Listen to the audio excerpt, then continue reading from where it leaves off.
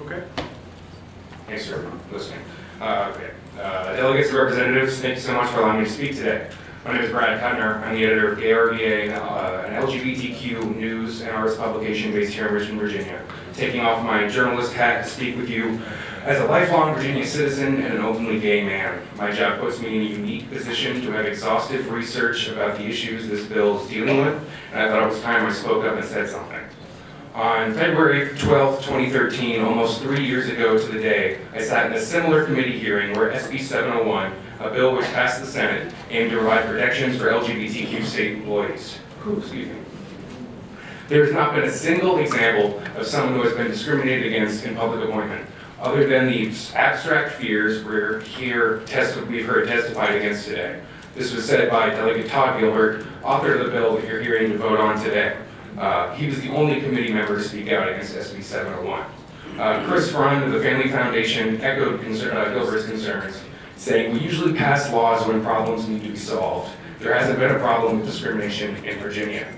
So I'm here to ask you today if I could address the delegate again, and I'd ask him, where is the problem?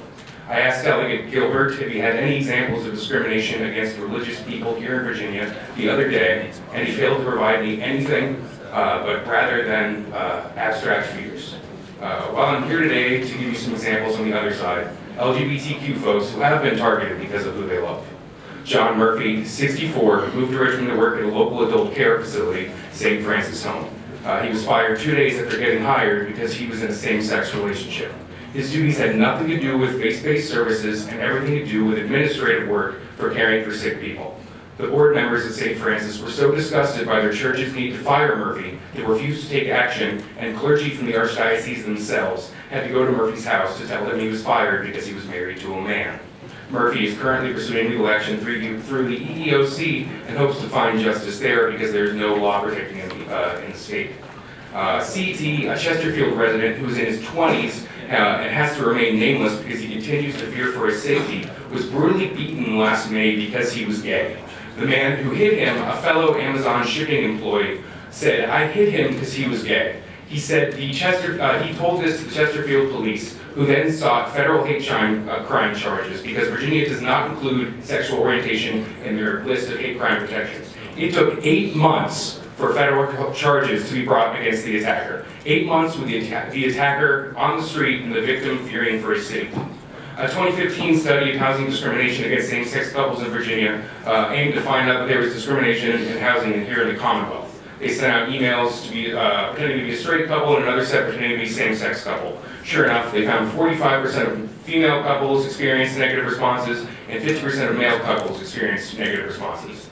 Finally, Gavin Grimm, a transgender 16-year-old boy, uh, was using the boys' restroom just fine until concerned parents stepped in, and now the kid has to use a converted broom closet when he pees.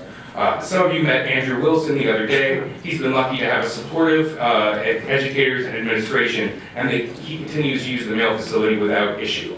These are not abstract concepts that Delegate Gilbert was talking about three years ago.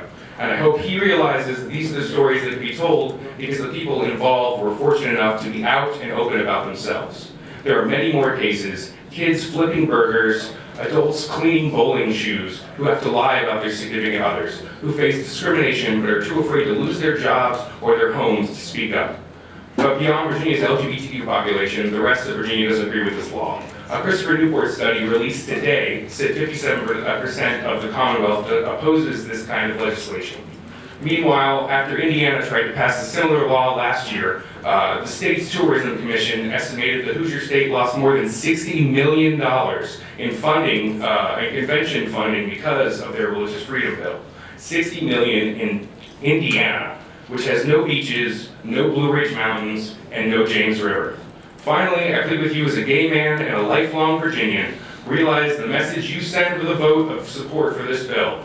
You're telling LGBTQ Virginians and citizens around the country that they are not welcome here. Their money is no good, their taxes are no good, and their equal treatment is not a priority. All because of who they love. All right, thanks guys.